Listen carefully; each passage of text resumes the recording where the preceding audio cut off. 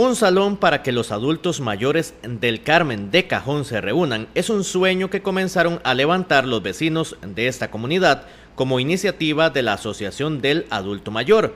Este salón es de 90 metros cuadrados. Levantaron la estructura, pero falta el techo. La colaboración de vecinos con rifas y otras donaciones, eh, tenemos levantado dicho salón hasta la altura de la viga corona pero se nos agotaron los recursos para continuar con la siguiente etapa, que sería ponerle techo y chorrear el contrapiso.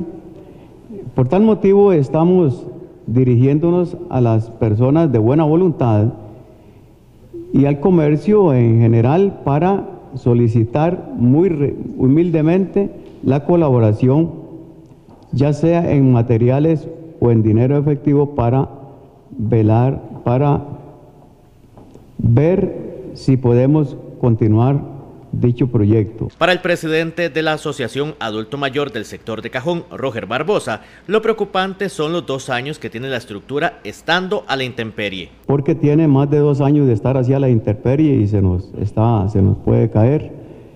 Entonces, este, decirles que, que siempre vamos a necesitar la ayuda de, este, de esta municipalidad y por eso creo que, todos los, los, que componen este, e, este honorable consejo pues nos van a echar una manita ahí para tratar de, de ver a ver si podemos tener un lugar donde reunirnos. Magda Méndez, la vicealcaldesa y encargada de la parte social, Dice que ellos están realizando actividades en las comunidades y al mismo tiempo hacen un censo para tener claro a la población adulto mayor, pero se topan que muchos no colaboran. Estamos a, cada actividad que vamos, llevamos un formulario especial que hemos hecho ahí en la oficina para recoger las firmas, la edad, el teléfono y toda la mayor identificación que podamos tener, porque no hay información para trabajar con el adulto mayor y necesitamos tenerla para saber con cuánta población estamos contando en cada distrito y así se hemos hecho saber a todas las comunidades,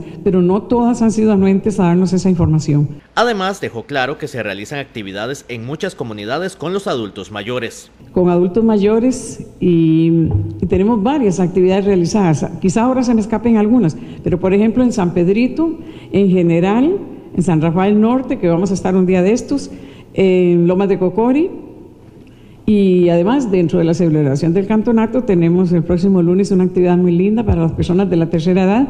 En todos estos lugares ha habido un aporte de personas, de, llevamos una conferencista a San Pedrito, la Asociación del Adulto Mayor de Cajón espera el apoyo por parte de la municipalidad y también del comercio para ver su obra levantada en su totalidad.